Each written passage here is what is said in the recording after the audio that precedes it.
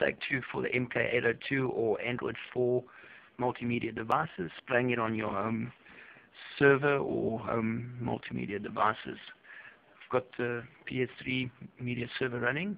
It's going through the modem there with the LAN which is connected to the hard drive and the computer which is connected to, to the mini PC tiny one that plugs in at the back and then I've got my TV connected via LAN cable.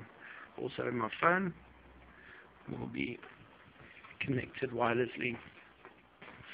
Now what I'll do here need to put a movie on. There's no sound on this one because uh, it doesn't have speakers. Let's go to devices. The library we want the library from the PS3 server.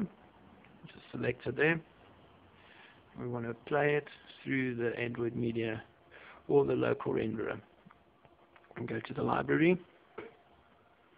Looking for the movies.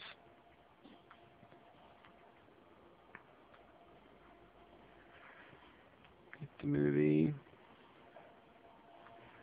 Dolphin's Tale we're going to use MX Player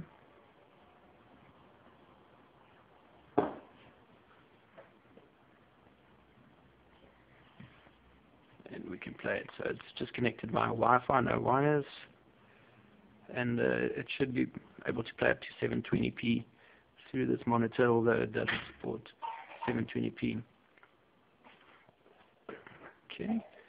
We can use multiple devices on this one. I'm just gonna exit this one here. And uh, then I'm gonna use my phone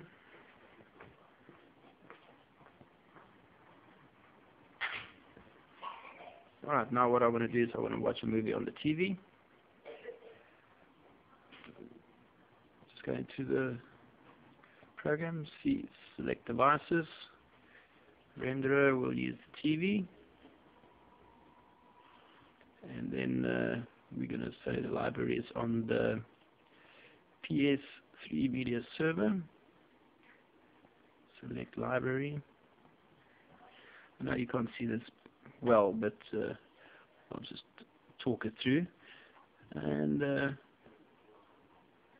we'll play. Let's play the Smurfs. As you can see, automatically stops what's playing on the TV, and uh, we're now playing the movie. Very easy. Uh, it doesn't take a lot to set up. It's quick setup, and, and it works really good. You can also probably certain files you can skip. Not on this one though. Depends on the RIP.